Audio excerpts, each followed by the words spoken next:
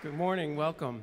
Um, I just wanted to say that uh, each week I get the opportunity to share the stage with these wonderful musicians and bring you some of the greatest music ever created.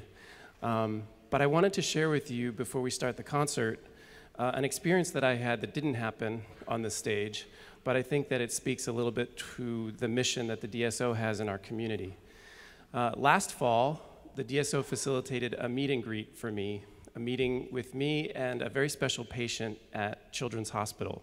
And all I was told was that this particular high school student was a big fan of the clarinet. She was a clarinetist herself, and that she was undergoing some pretty awful treatments. So they asked if I'd be willing to come and meet with her. And um, of course, I was happy to do it, but I was a little bit apprehensive. I didn't quite know what to expect. So I made my way to the hospital. I had sort of an, an armful of music and my clarinet, thinking I knew exactly what I was going to play for her and everything was going to be good. And as I'm sitting in, in the room, I started to get a little bit nervous.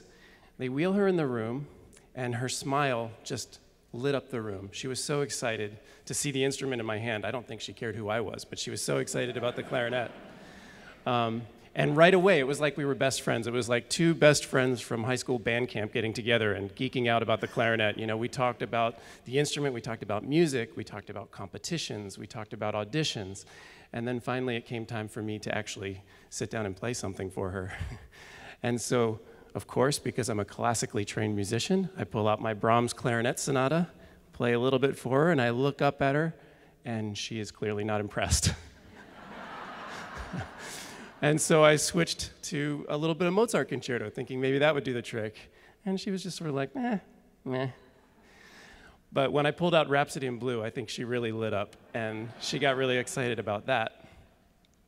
Then she started requesting songs from me, songs from her church, songs from her high school band class, and she would sing them for me, and I would try playing them back to her, and we had a good time trying to do that. Eventually, at the end of the afternoon, uh, we had everybody in the, in the hospital room the nurses, her family, she and I were singing along and playing along uh, a couple of verses of Lean on Me, which was one of her favorite songs. So it was a very special afternoon for me, and I'm just hoping that the music that we shared together brought her some joy during a time that I think was very difficult for her and her family.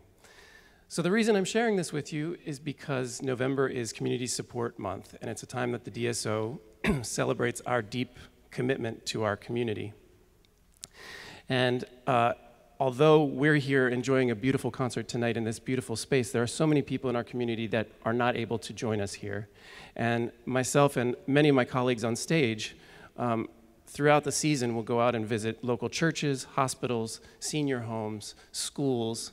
Uh, to try to reach people where they are and bring them music. And this kind of work is only possible through the generous donations that many of you have already made to our annual fund. Um, and I'm just here to ask those of you, to thank those of you who have, and to ask those of you who may not have yet, to consider giving a gift. There are tables in the atrium this afternoon, and hopefully you can stop by during intermission or after the concert and find out some more information and support our mission of serving our community through music. So thank you so much and enjoy the concert.